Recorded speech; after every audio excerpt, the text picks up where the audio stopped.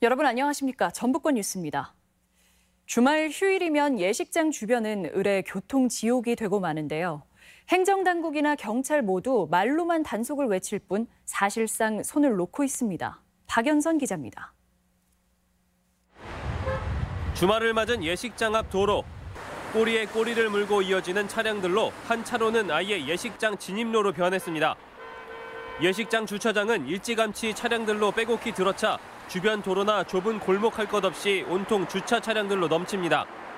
불법 주차가 기승을 부리면서 자전거 도로는 물론 인도까지 주차장으로 변해버렸습니다. 전주시가 인도 위 불법 주차를 강력히 단속하겠다고 선언했지만 헛구호에 그치고 있습니다.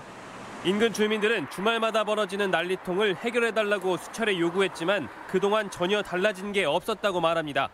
예식이 맞는가 그 차가 많거든 양쪽 양방향으로 그러는데 직진차하고 차하고 이렇게 합치돼가지고 유턴하기가 상당히 불편하거든요. 전주의 다른 결혼식장도 사정은 별반 다르지 않습니다.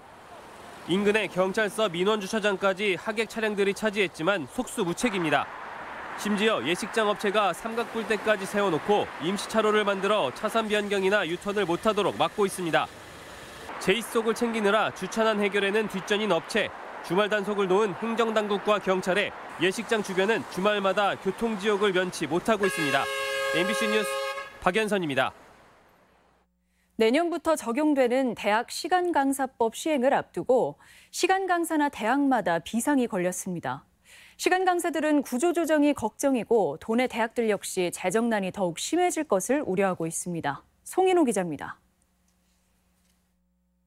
국회 통과를 앞두고 있는 강사법 개정안은 시간 강사 급여에서 빠져있던 방학 중 임금과 사대 보험, 퇴직금 등을 포함하도록 했습니다. 각 대학들은 현재 재정으로는 이를 감당할 수 없다며 시간 강사 수를 대폭 줄이고 명예 교수나 초빙 또는 겸임 교수를 활용하는 방안을 검토하고 있습니다. 이러다 보니 시간 강사 구조 조정이 예상됩니다. 전북대 500여 명을 비롯한 도내 4년제 대학에만 2천여 명의 시간 강사들이 있지만 협의회조차 없어서 제대로 대응조차 못하고 있습니다. 제가 한 학기에 18시간씩 강의를 지금 해왔습니다. 하지만 현재는 진짜 강의 하나도 못하는 수업자가 될 수 있습니다. 대학들은 비용 절감을 위해서 졸업학점을 현행 130학점에서 120학점까지 줄이는 방안도 추진하고 있습니다.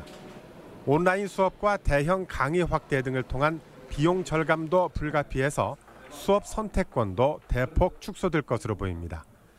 교육부는 500억 원의 예산을 세웠지만 학교 규모를 기준으로 지원할 가능성이 커서 수도권 대학에만 집중될 가능성이 높아지고 있습니다. 학생 수 감소로 어려움을 겪고 있는 지방대들이 자체 예산으로 시간 강사 임금을 해결하기는 불가능하다는 입장입니다.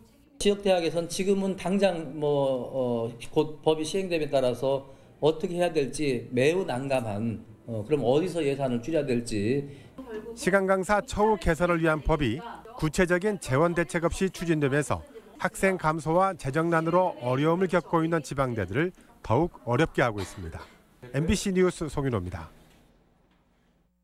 연말을 맞아 불우이웃을 돕는 구세군 자선 냄비가 모금 활동을 시작했습니다. 오늘 전주 오거리 문화 광장에서는 도내 구세군 회원과 자원봉사자 등이 참석한 가운데 제90주년 자선 냄비 시종식을 가졌습니다. 자선 냄비는 한옥마을 등 도내 14곳에 설치돼 오는 24일까지 모금 활동을 벌입니다. 전주 충경로 차 없는 거리에서 나는 뽁뽁이다라는 주제로 에너지 전환 박람회가 열렸습니다. 박람회에는 단열재를 이용한 뽁뽁이 하우스와 단열 공작소 등이 선보였으며 LED 스탠드와 전기 자전거 만들기 등 각종 체험 행사도 마련됐습니다. 이와 함께 어른을 위한 에너지 교실과 거리 강연 등 다양한 프로그램이 진행돼 시민들의 눈길을 끌었습니다.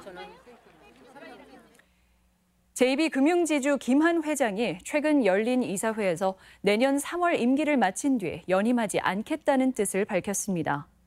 지난 2010년 전북은행장으로 취임한 김 회장은 2013년부터 JB금융을 맡아 광주은행을 합병하는 등 사세를 확장해 왔습니다. 완주군이 미분양 관리 지역으로 지정됐습니다. 주택도시보증공사는 11월 미분양 관리 지역으로 전국 33곳을 선정했다며 완주군을 포함한 4곳이 이번에 추가됐다고 밝혔습니다. 미분양 관리 지역은 미분양 주택이 증가하거나 줄지 않는 지역으로 도내에서는 전주와 군산, 완주 등 모두 3곳이 지정돼 있습니다. 함께 있던 남성 2명이 각각 숨진 채 발견돼 경찰이 수사에 나섰습니다. 경찰에 따르면 어제 오후 8시 반쯤 효자동 한 원룸과 오늘 오전 10시쯤 인근 모텔에서 24살 A씨와 30살 B씨가 각각 숨진 채 발견됐습니다. 경찰은 주변 CCTV에서 두 사람이 함께 있는 모습이 포착된 점을 미뤄 두 남성의 사망에 연관성이 있을 것으로 보고 정확한 사인을 찾고 있습니다. 전주시 보훈회관이 신축 개관했습니다. 전주시 경원동에 자리한 새 보훈회관은 지상 4층 규모로 전주 지역 9개 보훈단체가 모두 입주했습니다. 기존 보훈회관은 면적이 비좁아 상위 군경회 등 4개 단체만 입주하고 광복회 등 나머지 5개 단체는 별도로 사무실을 빌려 사용했습니다. 학교 체벌과 이른바 왕따 등 학생 인권 실태에 대한 조사가 실시됩니다.